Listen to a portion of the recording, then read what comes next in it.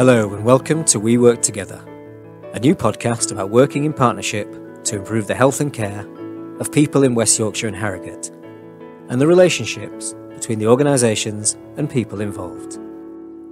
In this episode, Rachael Loftus, Head of Regional Health Partnerships across West Yorkshire and Harrogate, talks with Tom Riordan, Chief Executive at Leeds City Council, about how councils, the NHS, and third sector are working together the dynamic between local places and the wider health and care partnership system, and about how leaders and the idea of leadership has changed during Tom's career.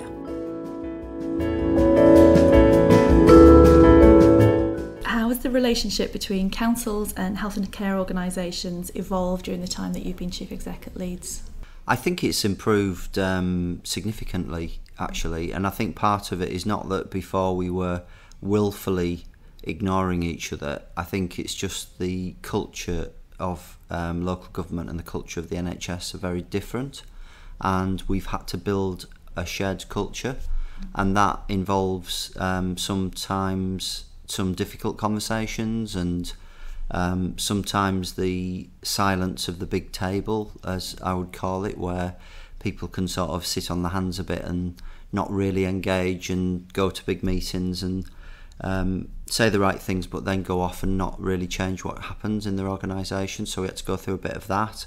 And then I think we went through a real stage of um, challenging each other to get better and realising that we had to do this for the people of um, of West Yorkshire and Harrogate, and um, and that has led to I think a really improved understanding between all of us, um, and Im- improved I think mutual respect for the job that each of us are, are there to do, um, and also a shared endeavour to to really take our partnership work into another level of what I call very active partnership, where you're actually focused on getting things done and getting things to change. So, yeah, I, I think we've come a long way actually. Always more to do as well. I think we're just at the foothills of what can be achieved. Yeah. Uh, so people often say to me when I say I work in health and care for the local authority, people say, you know, I didn't know local authorities were involved in that kind of thing. Um, so from your point of view, why do you think local government is, is important to be engaged in that partnership of working at that level? I think if you asked a lot of people uh, why they went into politics um, and what difference they wanted to make, or you asked people who'd gone into as, as officers into local government um, or the NHS why, why they're, they're there. A lot of the time they'll say to make a difference and to make a difference to people who need the help the most. And so if you look at a range of ways that you could do that, I think there was an orthodoxy that I was part of actually, maybe 15 years ago, where the key to a successful life was to get a job to get a good job. And if you get a good job, you'll be all right because everything else will flow from that. You'll get a good house, you'll get a good, you know, your health will be better, you'll live a better lifestyle. And I think what's changed in the last um, 15, 20 years is that that isn't the case anymore. You know, some people have three jobs and they're still in poverty. Mm. And so the way that you can affect people's lives, I think the most is through improved health and healthy lifestyles. And the way that you can immediately have a an impact on that is is not just by providing um, support through the NHS. You know, it, it can come in a whole range of different ways, and that's where local government comes in because we have this great responsibility on public health, which I think was a, a really, really pivotal move to give that back to local government where it started, if you like, originally. Yeah um, and to give that extra responsibility for healthy lifestyles to people who were planners, um, highways engineers, you know, chief execs and cabinet members, the people with responsibility for social housing, for building new houses. All of those things, you know, have an impact on um, individuals' health and, and, and children's social care as well. I always remember we we've done so much on children's social care and the one question I, that Ofsted put to me that I couldn't be really positive about when we went from um, went to outstanding recently was that we still need to make sure every child in care has an annual dental appointment. Mm. And it's just another example of, you know, it seems like a little thing, but you think if you never went to the dentist between the ages of, of 0 and 18 and what a difference it would make to your life now. And it's things like that that are really, really vital.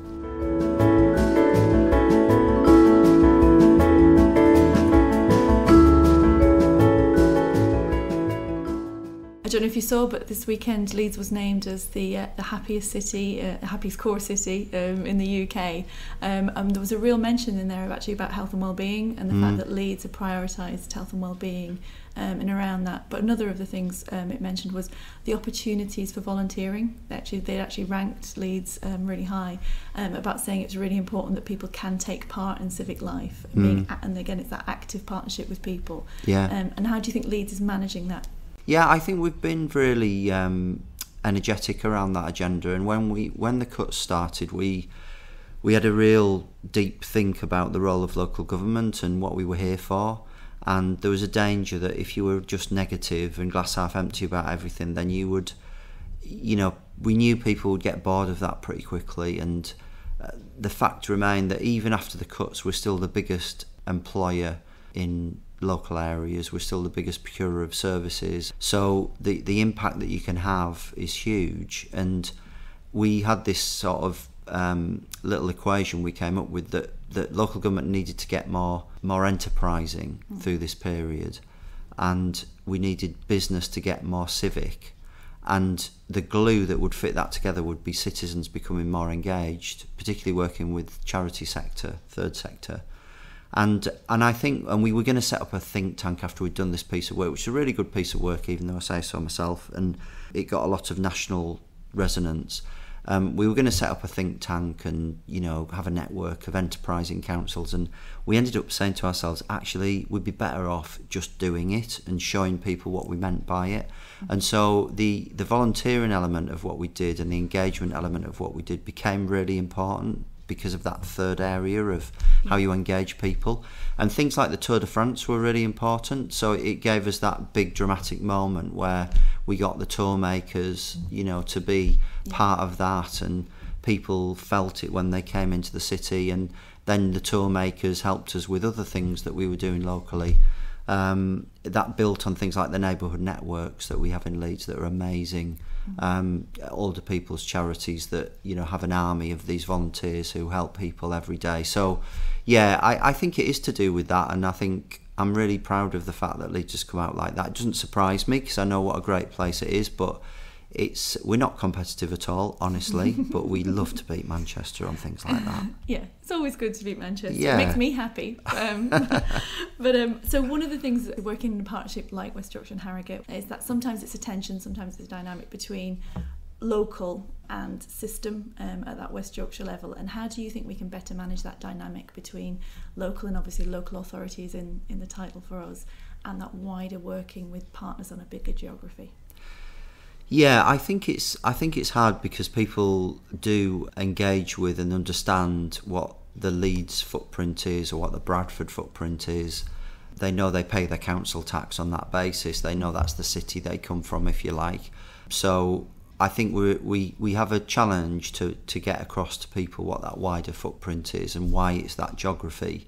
But I, you know, I, I do think it's right that we operate at that level because uh, people don't you know they don't sort of get to the edge of a of an administrative boundary and stop and say I can't go any further. They they actually you know they the, the health system works across and the health and care system works across that wider geography. Yeah. so it's right that we organize ourselves across that wider geography. And the simple way I'm I'm I'm a team sport person so I like I've always liked playing team sports and I, I think one of the good things about teams is that you one of the sayings you have when you play I play football quite badly um, and but one of the things the sayings in a football team is you know do your own job really well and then you know that everyone will all do better. And I think there's a bit of you need a bit of both so we we all need to to make sure our own patch is working really really effectively. But then we've also got to make sure that we're working with others in that wider that wider scheme of things and you know that there's a difference between the different parts of the system. Leeds has a very big hospital trust that does you know, the specialist work on things like trauma and cancer treatment that we wouldn't do across the whole footprint. Yeah. And if if everybody tried to do that, then all the money would be used up, and we wouldn't have any anything for the people who needed it for maternity and for for uh, hip replacements and for um, the social care work that takes place in every part of every bit of the geography. So it's like having a it's like having if you had 11 strikers and 11 strikers in a team or 11 goalkeepers however good they were mm-hmm. you'd lose. Yeah. So I think it's that team ethic of all of us doing our job really well and and also the Leeds of this world uh, the bigger cities recognizing that the smaller places are really important and as valid as as we are as big cities if you're an individual who can't access the care or the health care that you need. So I think that's that's what it's all about. It's teamwork.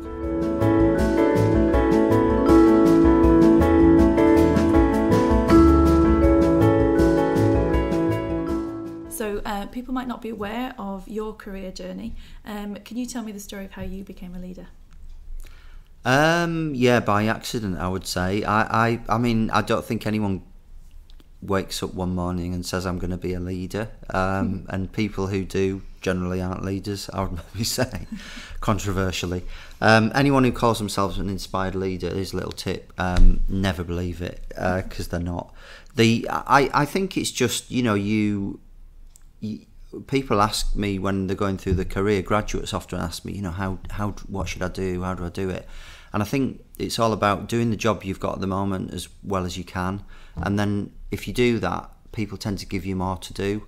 And so, you know, I, have just been in the right place in the right time a couple of times. Um, I got to work in the UN in the 90s on climate change agreements across the world by complete accident, but it, it gave me this fantastic um, insight into how the world works together and different perspectives from different cultures, which I really which was really powerful for me. I got to set up a new government agency at the end of the 90s when the Blair Brown government was coming in, and, and that allowed me to get promoted quite quickly into a leadership position. And I was probably too young, to be honest, in, in some senses, to do a, a major. I was a chief exec when I was 37, but in another sense, it's very liberating at that age to be given a job like that because you you maybe don't have the fear factor that people do sometimes when they're right at the end of their career and they don't really want to mess it all up at the end. So um, so that was interesting and and then I got the job at Leeds um, about nine years ago and came into local government and it, it, was quite a shock to start with, even though I'd worked with local government closely.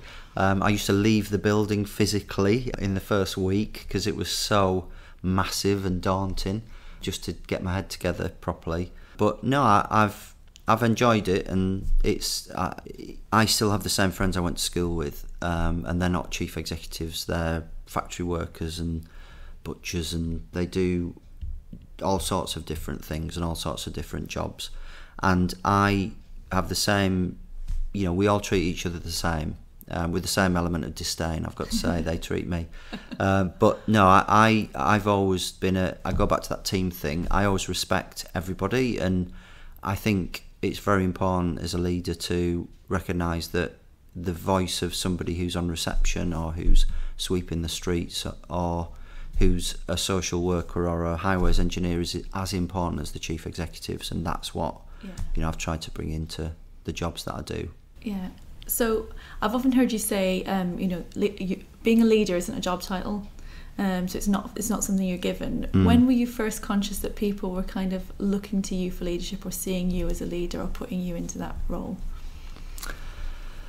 Um, that's a good question. I when I, I was in the fast stream in the civil service, and um, and I I really hated the there was this sort of elitist culture to that group of um, the way they ran that program and it was often i mean i went to i was lucky enough to go to oxford um, so but it was a sort of oxbridge type mm-hmm. um, you know the worst stereotype of an oxbridge type mentality the the reason that i think people I first clocked people looking for me was when I did a bit of a mini rebellion against the uh, fast stream and went to see the head of the department. I, I actually emailed the head of the department and said, I don't think we should have a fast stream. I think we should have a single graduate program. And he asked to meet me. Um, so I, to, I, got I got wheeled in to see this guy who's now Lord Turnbull, and um, and he was I think he was quite amused by this northerner telling him to sort of dismantle the whole of Whitehall.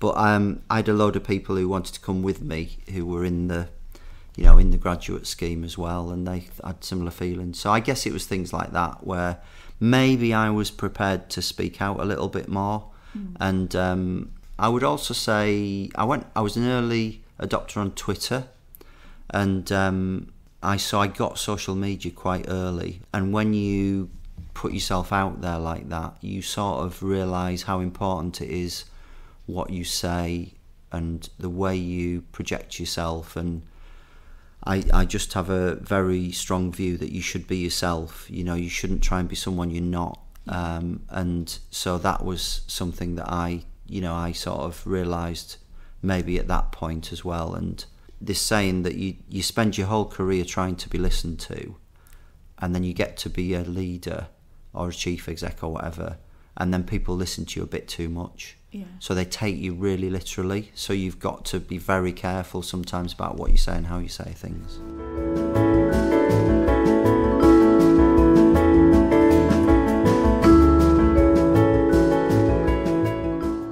I remember you coming to Leeds and, be, and being a very different type of um, of chief exec, of being you know that public facing um, of engagement. And I think for many of us, it gave us the confidence to bring forward lots of the things that we had hoped to be able to do, but felt like we weren't allowed to do. So I, I think a lot of the, the you know the, the marks of Leeds in the last few years have been able to see things like compassionate cities. You know, I, am not sure that the word compassion was ever heard in the first ten years of my career, um, and kindness and um, and working with people uh, on those issues. So how for you do you think leaders and leadership has changed during your career? Yeah, I think the command and control model and the sort of heroic leadership model is pretty um, obviously quite vogue nationally at the moment. Um, but I don't think is the way to run organisations. I think that you, the way that you get things done are by creating a culture and a framework where people can work and then letting them get on and do that. And I think I'm here to support the rest of the organisation, not the other way around. And I think that's the way that you've got to flip the mod, the traditional model, and work in a different way. The reason I like working in Leeds and Yorkshire is because you get told straight away if you're sort of talking rubbish, yeah. and if people really are honest with you, and that suits me. I quite like that. I'm quite an open person. Yeah. Um, and you know, I, I think I also think leadership in our terms in local government is very, very powerful if you can get it right, where you get that connection between the political leadership and the um, the officer leadership. And I often think that's something that's that's missed by people outside. And so the compassionate city thing was, you know, came principally from uh, Councillor Blake and you know the, the the administration who wanted to bring that in. But I think the kindness element of it is probably more me in terms of me articulating that a bit more and people finding that quite odd that um, a man and a, you know, sort of these person in a leadership position would talk in those terms. Yeah. And I, I think, you know, it's almost seen as a weakness to admit that you've got any weakness whatsoever and that you, you, you should be focused on the softer, in inverted commas, side of things rather than the, the things people can see and build and travel on. And, you know, that's where health and social care is so, so important because actually the thing that people will remember most about a pathway through our system is when that they got that bit of kindness yeah. and that bit of human interaction and the thing they will dislike more than anything and they'll hate and they'll tell everybody about is when they were treated like a tick box yeah. and when they were when they were ignored and when they were you know they, they were sort of just treated like a, a widget in a system and I guess that's what I'm really bothered about bringing is bringing that human element back into leadership and getting people to see that that's actually what it's all about. I've heard you talk before about how if we could change from being a local authority to being a local enabler and how we do that and the kind of people that you need in an organisation to do that kind of thing. So, what are the kind of things that you are doing to bring people into leadership roles who might be from non-traditional backgrounds or from, from you know, the non-male pale stale version um, of leadership mm. that we saw in the past? I'm really proud of the fact that we've we've moved a long way on um, gender representation and diversity in the um, senior cohort of the council. Um, in the last few years, where there's more women in our what's called our best council leadership team than men now. But there's a lot more work to do on things like BAME representation in at senior levels and making sure that you've got people with a disability being heard. We've, we've done lots on LGBT plus. I'm quite proud of the fact that we're now back on the Stonewall list and we are very active, I think, in that space and have some fantastic people working on the ground on it. I think in terms of mental health, I think we've done a lot in terms of opening up views to to make it a much more part of the you know it being part of the furniture that we all talk about that and I've had my own experiences of that with my mum in particular who's bipolar. My dad was an alcoholic and I've talked a lot about that. And when I you know I was in care when I was a toddler because of that but then got sorted out and we were fine. But but a lot of people don't have that experience. But mental health issues are growing as an issue in our organisations, in our city, in the region, and we've got to be able to recognise those things a lot more. But it's also about the thing I love about local government is that it it does have people from every walk of society who work here, and I think that's a great strength. And and people have a passion for the place they're they're from or or they live in, and that that is very powerful. And um, and so the more we're doing work to you know outreach work to get people to apply for the council from places like Harehills and Chapeltown and more women to come into the wastes um, side of what we do um, you know where we, we're trying to be very proactive to, to make sure that we, we reflect the city that we serve yeah. um, and that's the important thing for me and um, again you know seeing care leavers working for us now is um, is very powerful and a testament to what we need to do. But there's always more to do on that agenda, and I'm very very keen and ambitious that we become much better um, in that area. Yeah, because uh, from my point of view, I do think we, we in local government probably have got a lot to contribute to our um, colleagues in, in other parts of the health and care system. Um, I will be I will be honest and say some of the whitest rooms I've ever been in um, have been in the last year mm. working uh, with our colleagues in these partnerships. Um, we don't talk about class as much as we possibly could, but particularly in terms of patient representation. Again, if we want to be um, a health and care system reflective of that, actually things like um, carers um, and how we work and organise, and um, and I think I think that's something that local government's got a lot of strength in.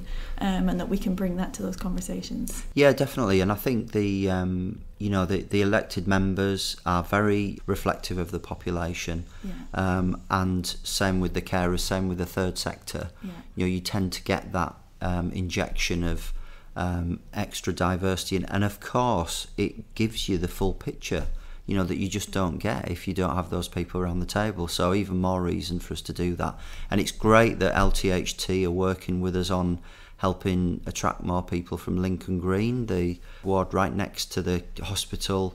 And we've already got, I think, about 40 people who've got into jobs as a direct result of that. It's just, it's just the sort of thing we should be doing.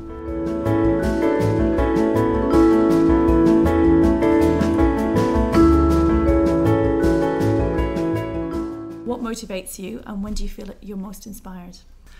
I think the uh, it's all about people for me. So when I meet somebody who says, "Actually, you did that, or we said that, and I'm doing this now, and it's making a difference to these people," that's absolutely what it's all about for me.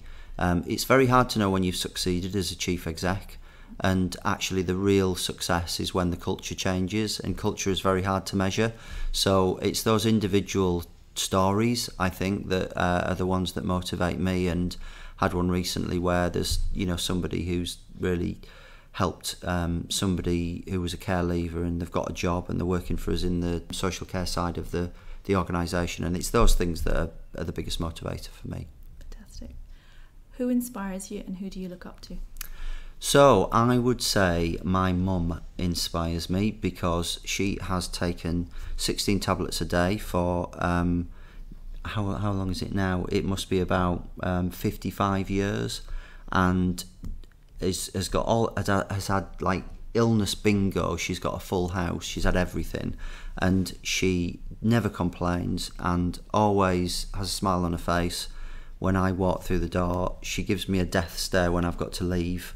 So um, yeah, it's it's my mum, I think, and um, yeah, I I I think it's you know I, for me, family and friends are the foundation stone of your life, and if you've got good people who don't care if you're on reception, doing the bins, social worker or chief exec, that's that's the important thing, and they're the people who I really care about and who are really important to me. If you could work with anyone, who would it be and why?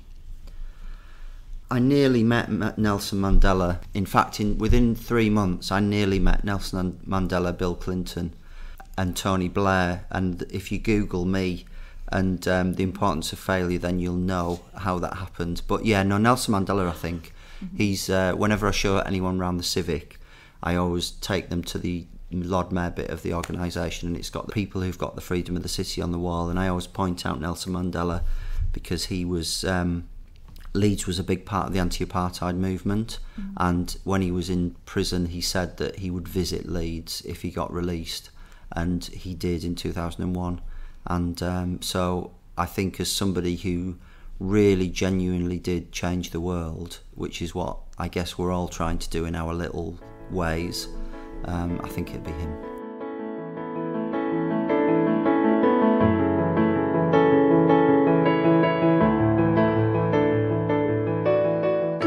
This has been episode three of the We Work Together podcast. Thanks to Rachael Loftus and Tom Riordan, and thank you for listening. Join us again next time when we'll be joined by more partners who work together to improve health and care for people in West Yorkshire and Harrogate.